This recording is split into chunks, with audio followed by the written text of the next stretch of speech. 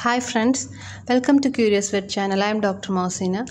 The topic for today's video is an important topic as far as anatomy and physiology is concerned. It is tetralogy of Fallot. Tetralogiocephalet is an uncommon but complex congenital defect and it is the most common defect that produces cyanosis.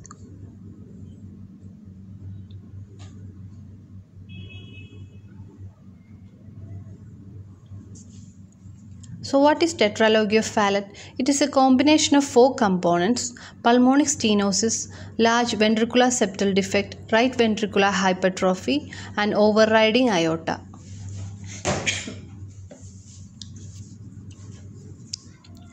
Let's see the difference between a normal heart and a heart with tetralogy of Fallot. Here you can see a defect in the ventricular septum and right ventricular hypertrophy, pulmonic stenosis and overriding aorta. A single con- conotruncal malformation, that is cranially displaced formation of the upper portion of interventricular septum, is believed to result in the narrowing of the right ventricular outflow tract, leading to overriding aorta and ventricular septal defect.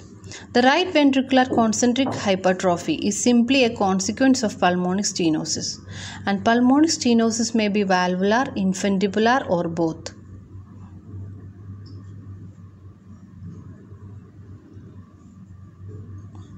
Inside a heart with tetralogy of Fallot, here you can see a hole that is a defect in the ventricular septum and a narrow area in the pulmonary artery that is pulmonic stenosis and the thick wall that is hypertrophy of the right ventricle and the overriding aorta.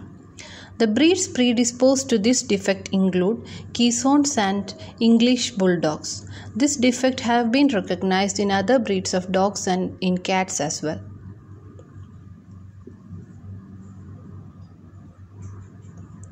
Coming to the pathophysiology of tetralogy of Fallot. The hemodynamic consequences of tetralogy of Fallot depend primarily on the severity of pulmonic stenosis, the size of the ventricular septal defect, and the ratio of pulmonary to systemic vascular resistance.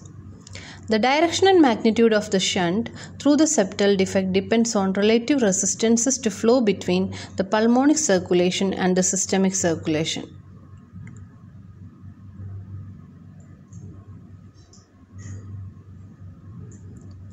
Let's see what are the consequences. One is the reduced pulmonary blood flow leading to fatigue and shortness of breath and second is the generalized cyanosis resulting in polycythemia that is increased RBC production and weakness and they cause they are caused by mixing of deoxygenated blood and the oxygenated blood. Because of the venous admixture the kidneys release erythropoietin resulting in polycythemia and the increased blood viscosity associated with polycythemia can lead to sludging of blood and poor capillary perfusion. And the consequences of polycythemia include ocular changes, bleeding diathesis, and neurologic abnormalities like ataxia and seizures.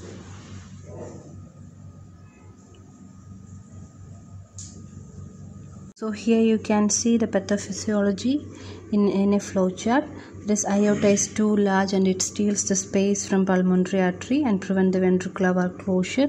Then there will be mixing of oxygenated blood and deoxygenated blood leading to hypoxia and we can see the consequences here. Coming to the clinical findings, affected dogs and cats may exhibit signs associated with pulmonic stenosis and cyanosis and a loud ejection quality heart murmur associated with pulmonic stenosis is present. Typical historical features of tetralogy of Fallot include stunted growth, exercise intolerance, cyanosis, collapse and seizures.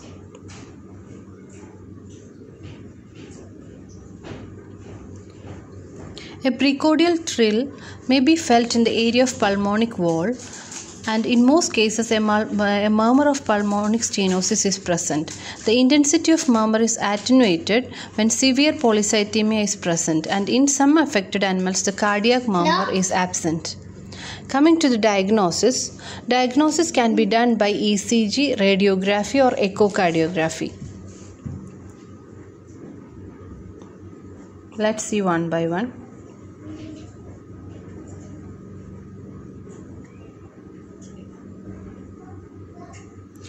So ECG, electrocardiographically a pattern of right ventricular enlargement is usually seen and there will be S waves are deep and there will be right axis shift. Arrhythmias are infrequent. So this is an ECG of a heart with tetralogy of Fallot. Can see deep S waves and the right axis shift and radiography. Radiographs demonstrate variable right heart enlargement and undersized pulmonary vessels.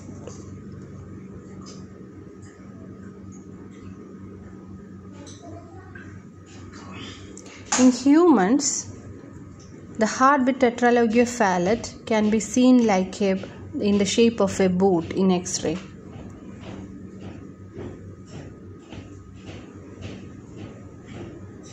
So here you can see the shape of heart and this is the tetralogy of Fallot and atrial septal defect in a white Bengal tiger cub.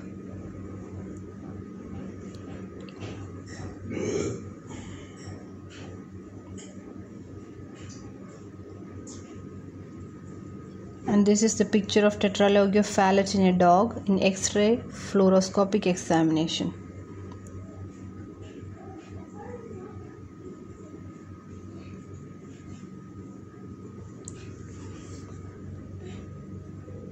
And next is echocardiography. Echocardiography confirms the diagnosis. Overriding of the aortic root can be confirmed in echocardiography and there will be right ventricular hypertrophy and the ventricular septal defect are evident. The left side chambers may be small as a result of decreased pulmonary venous return.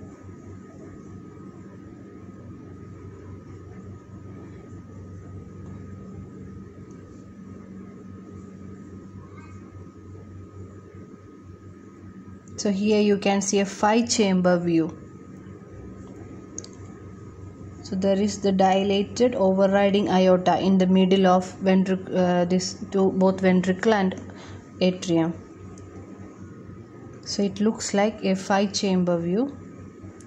And in this picture also the ventricular septal defect is clearly seen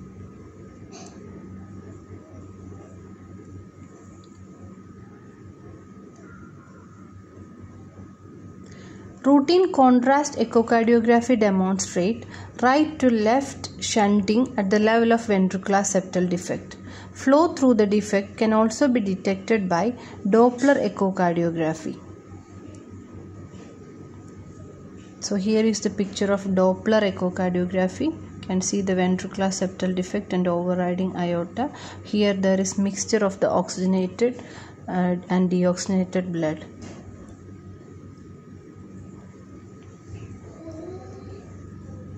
Beta adrenergic blockade has been used to reduce the dynamic component of the right ventricular outflow obstruction and to attenuate beta adrenergic mediated decreases in the systemic vascular resistance. Increase in the systemic vascular resistance lower the magnitude of shunting. So this is a slightly modified view angle to optimize imaging of the pulmonary artery in the patient. Here the pulmonary valvular leaflets are not visualized. But it, it demonstrates the turbulence and acceleration of the flow of the blood in the right ventricular outflow tract. Polycythemia should be controlled by periodic phlebotomy to resolve clinical signs of polycythemia and the prognosis is guarded but animals with mild to moderate shunting may reach adulthood. Coming to the treatment, corrective or palliative surgery can be considered, although most cases undergo medical management to minimize shunting and degree of polycythemia.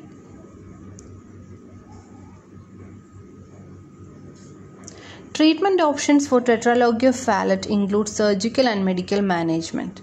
Corrective surgery has been reported in dogs but is rarely performed.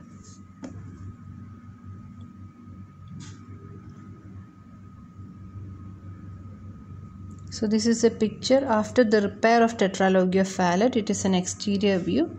Here you can see the ventricular septal defect uh, is closed with a patch. So patch to enlarge narrowed pathway from right ventricle to pulmonary artery can be seen here. and ventricular septal defect is uh, closed here. Then palliative surgical technique to relieve clinical signs associated with tetralogy of are rarely performed and include techniques to produce systemic to pulmonary anastomosis. Then these procedures increase blood flow to the lungs to reduce signs of pulmonary hyperperfusion and systemic hypoxia. In some cases, reducing pulmon- pulmonic stenosis is palliative, and surgical valvuloplasty or balloon valvuloplasty of pulmonic stenosis are also options. So let's see the key points once again. Tetralogy of Fallot is a complex heart disease with four components pulmonic stenosis, ventricular septal defect, right ventricular concentric hypertrophy, and dextra-positioned overriding aorta. And right to left shunting across the ventricular septal defect may result in generalized cyanosis and polycythemia and treatment is dependent on the severity of pulmonic stenosis, right to left shunting, and clinical signs.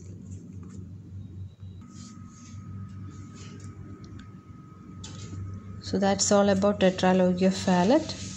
If you find the video useful, please like it, share it with your friends, and comment your suggestions. If you are new to this channel and not subscribed yet, please subscribe and click the notification bell so that you get notified every time I upload a video. I will be uploading at least one video every week. So see you soon with another video. Thank you.